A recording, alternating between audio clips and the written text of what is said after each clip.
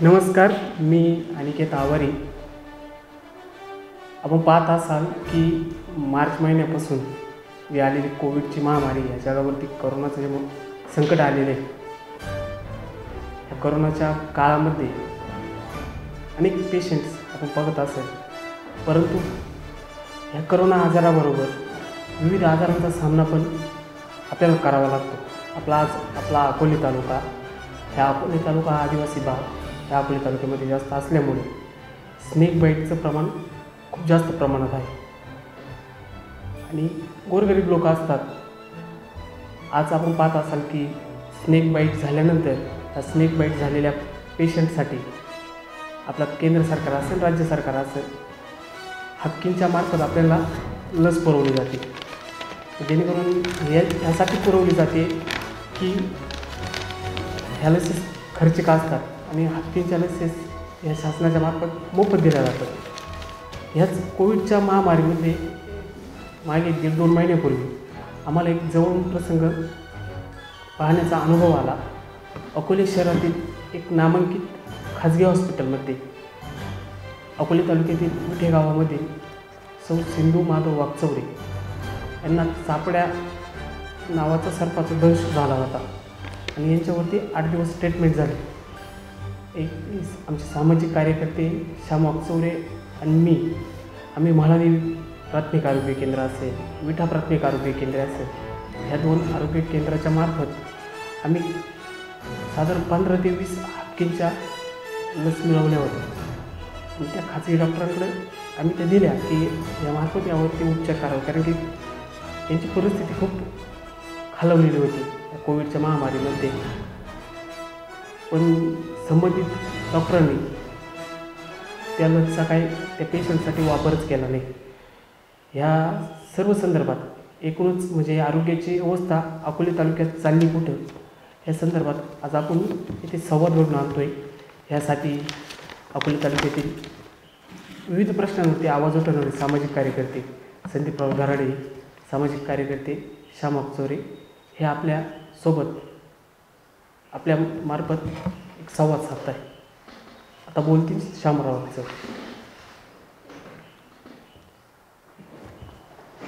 नमस्कार मी श्याम वागचौरे प्रथमतः या ठिकाणी आज आद्य क्रांतीवीर राघोजी भांगरे यांची जयंती. मी प्रथमतः त्यांना अभिवादन व्यक्त करतो. या ठिकाणी आत्ताच माझे सहकारी अनिकेत आवारी यांनी जे सांगितलं की हापकिंग आणि सिरम या दोन लसी आहेत. सरकारने जी ही तुमच्यासमोर हापकिंगची ही सरकारी लस आहे ही दिली जाते स्नेक बाईट झाल्यानंतर. आणि त्यानंतर ही सिरमची ही खाजगी मेडिकलमध्ये उपलब्ध असते हिची किंमत सहाशे ते साडेसहाशे रुपये आहे. आणि ह्या एका पेशंटला कमीत कमी पंचावन्न ते साठ अशा लसी दिल्या जातात. मॅक्झिमम साडेसहाशे जरी धरले तर बत्तीस ते तेहतीस हजार रुपये एका पेशंटला फक्त लसीचे. मग इतर सलाईन असतील इतर मेडिसिन्स असतील याच्या माध्यमातून मेडिकलचा एका पेशंटला येणारा खर्च हा कमीत कमी चाळीस हजार रुपये. डॉक्टरचे वेगळे. आणि मग या माध्यमातून सरकारने केंद्र शासनाने किंवा राज्य शासनाने आपल्याला ही जी हपकिंग नावाची लस नेक बाईटवरती उपलब्ध करून दिलेली आहे मग ही फक्त सरकारी याच्यात न राहता खाजगीतसुद्धा ही सरकारी खाजगीतल्या डॉक्टरांनीसुद्धा ही वापरणं गरजेचे आहे. जेणेकरून गोरगरीब अकोले तालुका आपला गोरगरिबांचा तालुका आहे आदिवासी समाज या ठिकाणी जास्त राहतो शेतकरी वर्ग या ठिकाणी जास्त राहतो. आणि मग अशा वेळेस जर सरकारच्या ह्या अशा लसींचा वापर जर होत नसेल आणि मग फक्त पैसे कमवण्यासाठी काही धंदाडगे डॉक्टर्स लोक जर गोरगरीब जनतेची लूट करत असतील तर हे कुठंतरी थांबलं गेलं पाहिजे.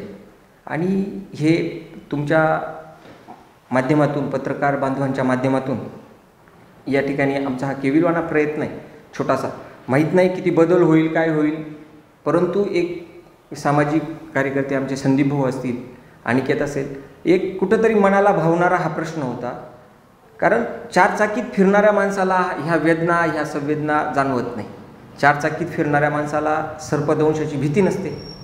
आणि मग का आदिवासी समाजात कुठंतरी फाटे किंवा शेतात काम करत असताना सर्पदंश होतो. आणि मग सर्पदंश झाल्यानंतर जर एका पेशंटला गोरगरीब जनतेला जर ऐंशी ऐंशी नव्वद नव्वद हजार रुपये जर भरून ट्रीटमेंट घ्यावी लागत असेल तर मग याच्यासारखं दुर्दैव आपलं कुठंच नाही. आणि जे स्थानिक डॉक्टर आहेत त्या डॉक्टरांच्याबद्दल अनेक तक्रारी देखील या ठिकाणी आलेल्या आहेत. मी विद्यमान या ठिकाणी तालुक्याचे जे आमदार आहेत त्यांना भरपूर जनतेनी घवघव असं मत दिलेलं आहे. त्यांच्याकडनं जनतेची जनते जनतेला फार अपेक्षा आहे त्यांच्याकडनं का काहीतरी या ठिकाणी बदल घडला आहे आणि काहीतरी आता तालुक्यात बदल होईल. त्याच्याची भ्रमनिराश न करता तालुक्यात आरोग्य व्यवस्था कशी सुधारेल? डॉक्टर लोकांकडे एकही आता मला नाव घेत नाही आहे तुमच्या माध्यमातून परंतु डॉक्टर्स लोकांना मी या ठिकाणी आव्हान करतो तुमच्या माध्यमातून की तुमच्याकडे जे स्टाफ वर्ग जो भरलेला आहे तो कमीत कमी त्यांचे नर्स काहीतरी कोर्स झालेला असावा. हा काहीतरी न त्यांना म- पेशंटच्या संदर्भात त्यांना तुम्ही ज्यावेळेस हँडलिंग करता पेशंट त्यावेळेस तुमच्याकडे काहीतरी नॉलेज असणं गरजेचं आहे शिक्षण असणं गरजेचं आहे. हे दहावी बारावी अ, उगाचच काहीतरी कमी पैसे वाचवण्यासाठी कमी पगारावरती जे मुलं भरले गेलेले आहेत ते कुठंतरी थांबलं गेलं पाहिजे. आणि डॉक्टर आमदारसुद्धा डॉक्टरच आहे. आणि मग तालुक्यात जर आरोग्य व्यवस्था जर खालवल्या पट्टीला जर जात असेल तर डॉक्टर आमदार तुम्ही असून देखील तर जनतेला विकास सगळ्या गोष्टी होत राहतील. परंतु एकदा माणूस जीवनातून एकदा संपला तर तो माणूस मेलेला माणूस पुन्हा जिवंत होत नाही. विकास होतील रस्ते होतील खड्डे पडतील पुन्हा रस्ते होतील परंतु एखाद्या कुटुंबातला करता जर निघून गेला तर तो करता पुन्हा आणता येणार नाही. तर ही तुमच्या माध्यमातून मला एक विनंती आहे की तुम्ही विद्यमान आमदारांनी या गोष्टीकडे जास्तीत जास्त लक्ष घालावं आणि या ठिकाणी डॉक्टर जे आहेत त्या डॉक्टरांची जी आरेरावीची भाषा देखील या ठिकाणी आमच्याकडे रेकॉर्ड उपलब्ध आहेत. परंतु या तुमच्या माध्यमातून त्यांनाही एकदा विनंती आहे देव प्रत्येकाला जीवन जगत असताना एक दोन संधी देत असतो. या ठिकाणी आम्ही हे तिघं जे बसलेलो आहेत आम्ही देव नाही. हे तुम्ही लक्षात घ्या. तुम्हाला एकदा संधी देतो. त्याच्यावरती तुमच्या वागण्यात तुमच्या बोलण्यात सुधारणा होत असेल तर ठीक. अन्यथा जर पुन्हा तुमची तक्रार जर आली तर आम्ही या ठिकाणी समाजसेवक म्हणून तुम्हाला या ठिकाणी आम्ही विनंती करतो की तुमच्यात बदल करा. अन्यथा आम्ही उपोषण या ठिकाणी तुमच्या तुमच्या ह्या अशा वागण्यात उपोषण देखील या ठिकाणी आम्ही करू. एवढं बोलतो मी. आणि त्यानंतर आमचे मित्र संदीप भाऊ विस करते. नमस्कार. बघा आज आम्ही या ठिकाणी तालुक्यात जी विस्कळीत झालेली आरोग्य व्यवस्था आहे त्याबाबत कुठेतरी आवाज उठवण्याचा काहीतरी आमचं मत मांडण्याचा प्रयत्न करतो आहे आता हे काही कुणासाठी नवीन नाही. संपूर्ण तालुक्याला माहिती आहे प्रत्येक घरात माणसं आजारी पडतात. द वर्षाला एक तरी माणूस आपल्या घरात सर्दी खोकला थंडीतात किंवा एखाद्या मोठ्या आजाराने आजारी पडत असतो आणि त्यात आपले हजारो रुपये दवाखान्यात जातात. हे सर्वांनाच माहिती परंतु याबाबत आवाज का उठवला जात नाही? याबाबत आंदोलनं का होत नाही? याबाबत मोर्चे का होत नाही? अतिशय चांगले प्रश्न मांडण्यासाठी की जे जनतेची खरी गरज आहे त्यासाठी दैनंदिन होणारे आंदोलनं आपण सातत्याने बघतोय. त्यात आरक्षणाचे असतील त्यात शेतीमालासाठी असतील विविध आंदोलनं आपण बघतो. परंतु माझा प्रश्न असा आहे की आरोग्य व्यवस्था जी खिळखिळी झाली त्यासाठी आंदोलनं का होत नाही? आता जर तालुक्याच्या बाबतीत आपण बोलायला गेलं तर बघा आपल्या अकोले तालुक्यात चार ग्रामीण रुग्णालय आहेत दहा प्राथमिक आरोग्य केंद्र आहेत व एकाहत्तर उपकेंद्र आहेत. आता इतक्या मोठ्या संख्येमध्ये जर सरकारी ही जर दवाखाने आहेत मग त्या पटीत आपल्याला उपचार मिळत आहे का? त्या पटीत आपल्याला ते योजना मिळत आहे का? आपल्या परिवाराला ते स्वास्थ्य मिळतं आहे का? हा विचार आपण केला पाहिजे. मग नक्की अडचणी काय? आता मी आत्ताचे आमदार मागचे आमदार कुणी काय केलं याबाबत मी बोलत बसणार नाही.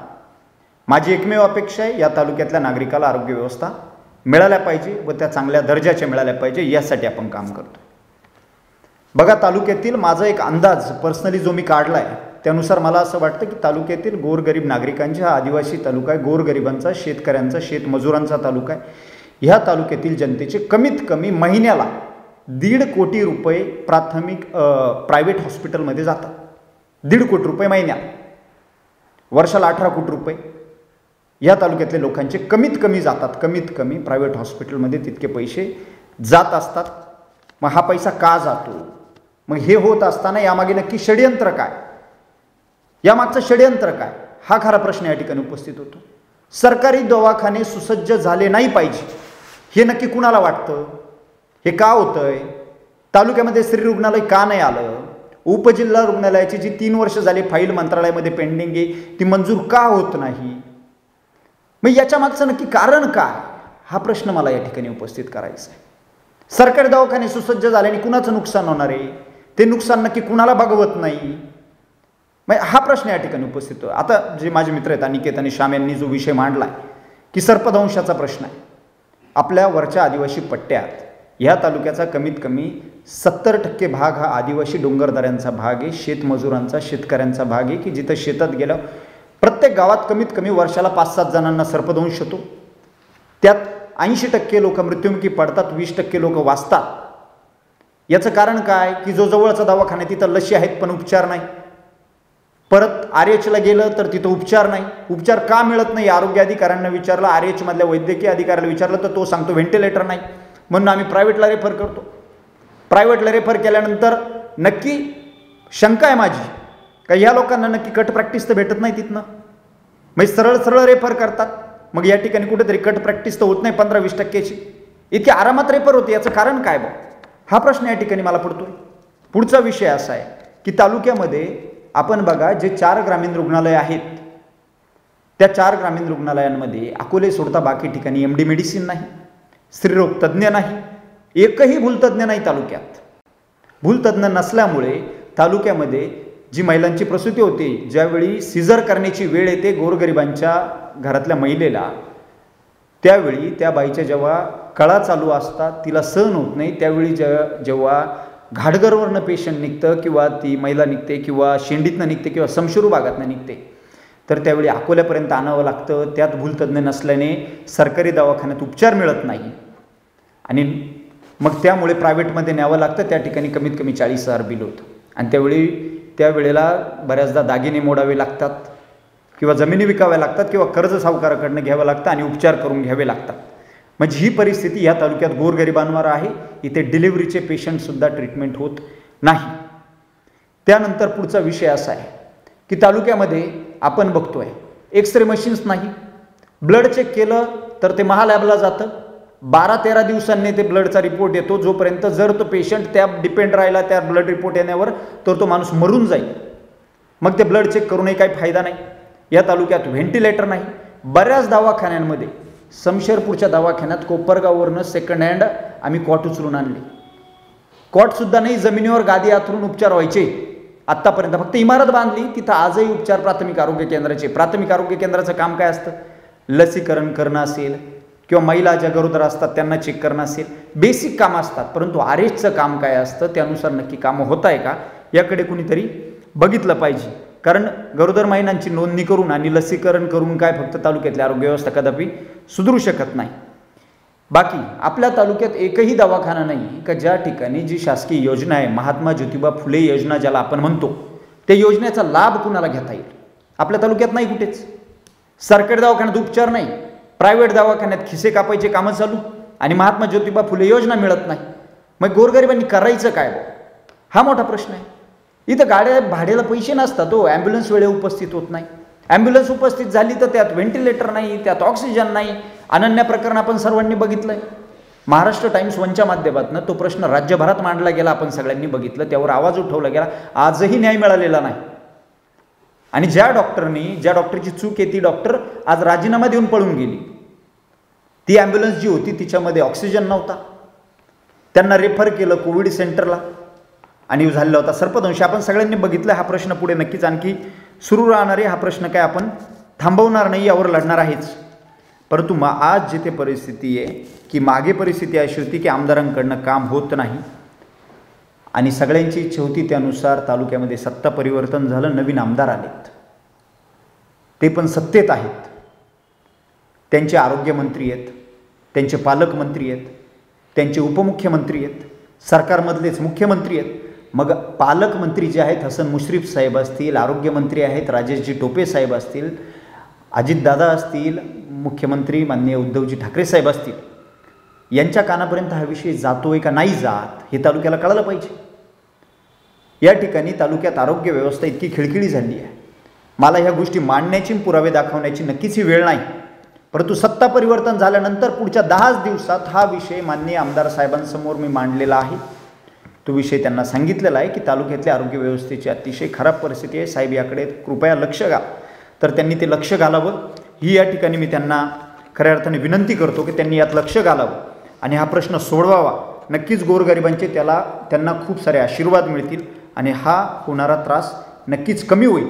खड्ड्यांसाठी आम्ही लढतोय बाकी प्रश्नांसाठी लढतोय परंतु त्यापेक्षाही मोठा प्रश्न आहे कारण खड्ड्यांमध्ये गाडी आदळल्यानंतर अपघात झाल्यानंतर त्याला गरज पडते ती रुग्णालयाची.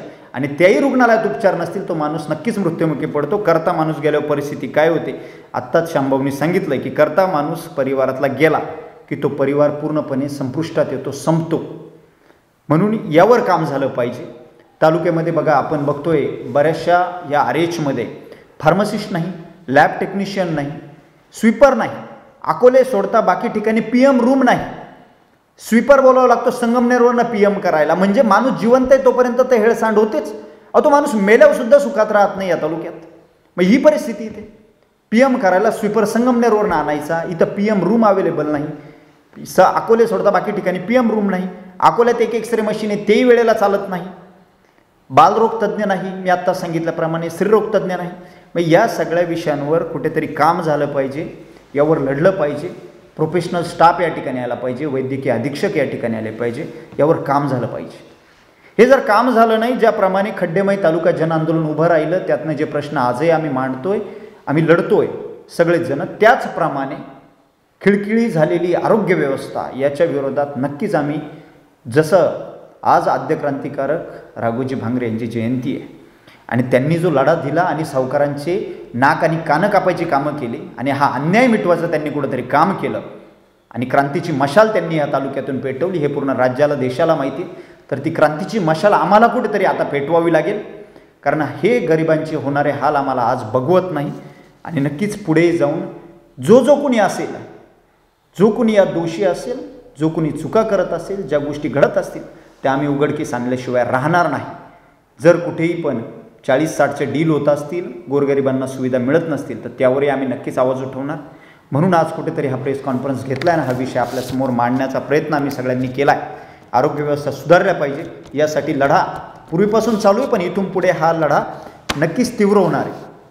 आज कोरोनाचं जी परिस्थिती आपण बघतो आहे कोविडच्या बाबतीत जी परिस्थिती झाली तालुक्यामध्ये जे लिमिटेड बेड्स अवेलेबल आहे आत्ताच मागे एका प्रायव्हेट रुग्णालयामध्ये राज्याचे महसूल मंत्री आलेत आणि तालुक्याचे माजी आजी आमदार आलेत आणि त्यांनी अगदी थाटामाटात उद्घाटन केलं.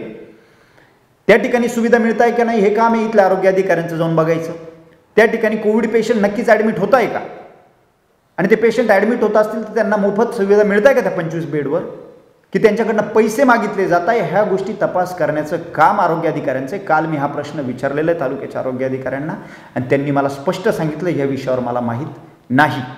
हा प्रश्न मी त्यांना विचारला. तर हे त्यांना का माहीत नाही तर त्यांनी जाऊन त्याचा तपास काढावा. नक्की तिथे काय चाललं आहे आणि कोविडचे उपचार ह्या तालुक्यात मिळत आहे का? हा विषय घडला पाहिजे. नक्की शासनाकडनं पैसे मिळत आहे की नाही? पाठीमागे आत्ताच कम्युनिस्ट पक्षाचे नेते माननीय अजितजी नवले साहेब आणि त्यांच्यासोबत विनय सावंत यांनी विषय उचलला होता. त्यामध्ये माननीय गायकर साहेबांनी सहकार्य केलं होतं की निधी जमा करून कोविड रुग्णांसाठी कुठेतरी ज्या काही वैद्यकीय गोष्टींची गरज आहे त्या उपलब्ध करून देण्यासाठी. तर नक्की त्यांनी अतिशय चांगला प्रयत्न केला. परंतु त्यातनंही पुढे काय झालं हेही तालुक्याला त्यांनी कृपया सांगावं अशी मी त्यांना या ठिकाणी नम्रपणे विनंती करतो की पुढे नक्की गोष्टी कशा घडल्या आणि काय झाल्या तुमच्यासोबत आम्ही आहोत. तुम्ही लढा देण्याचा प्रयत्न करा. तुमच्यासोबत तुम्ही अनुभवी आहात. तुम्ही स्वतः डॉक्टर आहात. तुम्ही आमचं नेतृत्व करा आम्ही तुमच्यासोबत नक्कीच राहू. तुम्ही आम्हाला केव्हाही आवाज द्या. परंतु तालुक्यातील आरोग्य व्यवस्था सुधारण्यासाठी सुधारल्या पाहिजे. यासाठी आजपर्यंत तुमच्यापैकी एकाही नेतृत्वाने आवाज उठवलेला मला आजपर्यंत कधी दिसला नाही. जर असेल तर माझा कुठेतरी गैरसमज असेल. परंतु माझ्या बघण्यात कुठे आलं नाही की एखाद्या गरीबाला घाटघर पांजरी उडदावणे लवळवाडी शिंगणवाडी त्या परिसरात एखाद्यावर संकट काळ आला आहे वेळ आलाय आणि इथून कुणीतरी त्या विषयावर आवाज उठवला आहे हे मला आजपर्यंत आढळलेलं नाही. त्यामुळं आपण सर्वांनी याबाबत नक्कीच आवाज उठवावा. त्या लोकांसाठी काम करावं. ही या ठिकाणी विनंती करतो आणि थांबतो. धन्यवाद.